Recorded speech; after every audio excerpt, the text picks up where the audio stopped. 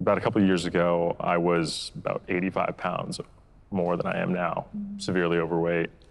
Um, I've realized that I was not happy and I didn't have anything that resembled like love for myself. So when I was trying to seek that in others, I couldn't find it, even if it would maybe was right in my face. Couldn't do it. So I needed to make sure that I myself became whole and figured out what was the problem, how do I fix it, and then once I'm whole, I want to share that love with someone when I'm there for them and not make those mistakes. What did you do, like, to work on yourself? Like, what were the steps you took, like, Yeah. to get there to where you Yeah. are?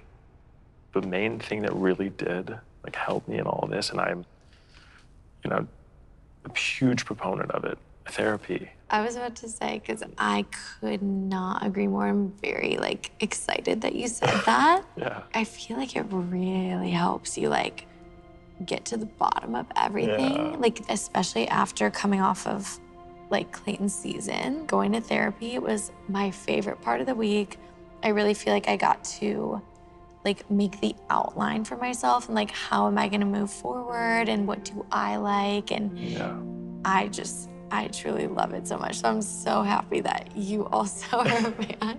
isn't it incredible like It's how it can amazing. just do wonders Yeah. are you still gonna like continue it are you still Oh still my gonna- gosh, yeah. When you, I think, really sit down and like think about what you want, things come to you.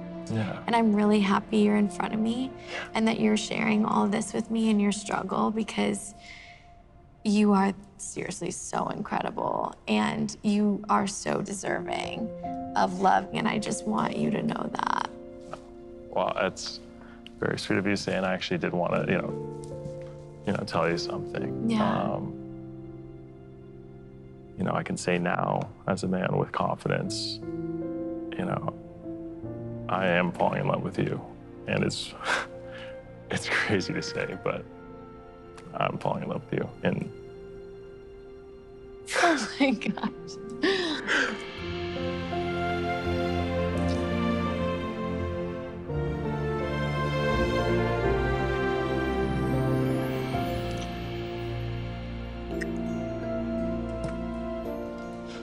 Oh my gosh, I feel like my heart is just like beating so fast right now. mine too.